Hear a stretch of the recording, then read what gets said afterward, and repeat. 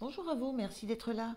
Je suis ravie de vous accueillir pour ce dernier message pour, euh, pour la semaine. Euh, donc voilà, je vais tirer cette, carte du tarot de la transformation et je vais vous lire la carte. Je ne fais rien d'autre, je lis et je laisse les messages vous, vous parler si, euh, s'il y a quelque chose que vous pouvez utiliser ou comprendre dans, dans le texte d'Osho. Allez, c'est parti. Je prends un message une carte. Et on va voir de quoi Osho veut nous parler. Quel est le, quel est le sujet dont il veut qu'on entende parler, qu'il veut qu'on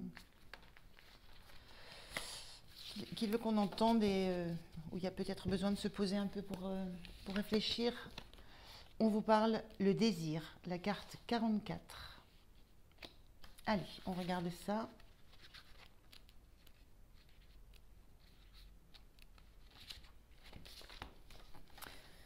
Alors, 44, le désir, le bol magique du mendiant. Lorsque vous désirez quelque chose, votre joie dépend de l'obtention de cet objet. S'il vous est refusé, vous êtes malheureux. Si vous l'obtenez, vous êtes heureux, mais que momentanément, comprenez-le bien. Chaque fois que votre désir est satisfait, il ne l'est que pour la durée pendant laquelle vous ressentez de la joie. Ce n'est que passager, car dès l'instant où vous l'avez obtenu, le mental désire à nouveau davantage, désire autre chose. Le mental n'existe que dans le désir, donc il ne vous laisse jamais sans désir. Dès l'instant où vous êtes sans désir, le mental meurt immédiatement. C'est tout le secret de la méditation. De bon matin, un, mendiant frappa à la porte d'un empereur. L'empereur était sur le point de sortir pour une promenade matinale dans son beau jardin. Sans cela, il aurait été difficile au mendiant d'obtenir une entrevue. Mais là, il n'y avait personne pour l'en empêcher. que veux-tu? dit l'empereur. Avant de poser cette question, réfléchis-y à deux fois, répondit le mendiant. L'empereur n'avait jamais vu un homme d'une telle trempe, un véritable lion. Il avait mené des guerres, il avait gagné des batailles, il avait prouvé que personne n'était plus puissant que lui. Mais soudain, ce mendiant lui disait Réfléchis à deux fois à ce que tu dis, car tu risques de ne pas pouvoir exaucer mon vœu. Ne t'inquiète pas de cela, c'est mon affaire. Dis ce que tu veux et tu l'obtiendras, répondit le roi. Vois-tu mon bol de mendiant? Je voudrais qu'il se remplisse. Peu importe avec quoi. La seule condition, c'est qu'il soit rempli, qu'il soit plein. Tu peux encore refuser, car en acceptant, tu cours le risque d'un échec, dit le mendiant. L'empereur éclata de rire. Un simple bol de mendiant. Et on lui conseillait de se méfier. Il ordonna à son premier ministre de remplir de diamants le bol du mendiant. Ainsi celui-ci saurait à qui il s'adressait. Réfléchis-y à deux fois, dit à nouveau le mendiant. Et très vite il fut évident qu'il avait raison, car aussitôt que les diamants remplissaient le bol, il disparaissait tout simplement. La rumeur se répandit comme un incendie à travers la capitale et des milliers de personnes vinrent voir.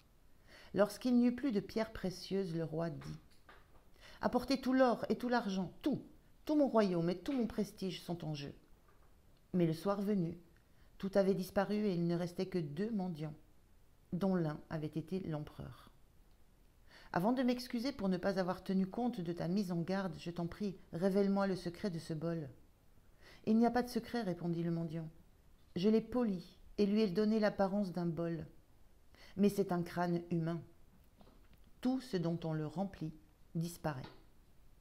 Cette histoire est fortement révélatrice. Avez-vous jamais réfléchi à votre propre bol de mendiant?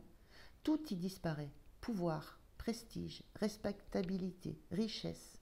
Tout se volatilise. Et votre bol de mendiant en veut toujours plus.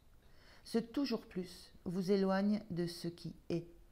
Tout désir, toute envie d'autre chose vous écarte du moment présent. Il y a seulement deux sortes de gens sur Terre. La plupart courent après des fantômes. Leur bol de mendiant les accompagne jusque dans la tombe.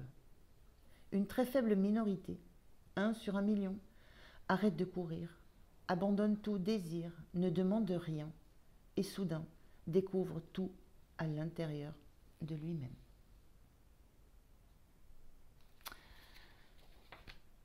Voilà pour vous, c'était Très beau message pour, euh, pour clôturer ce cycle sur, euh, sur Osho et son tarot de la transformation. Je vous souhaite une belle journée. Euh, prenez bien soin de vous et je vous dis à demain. Au revoir.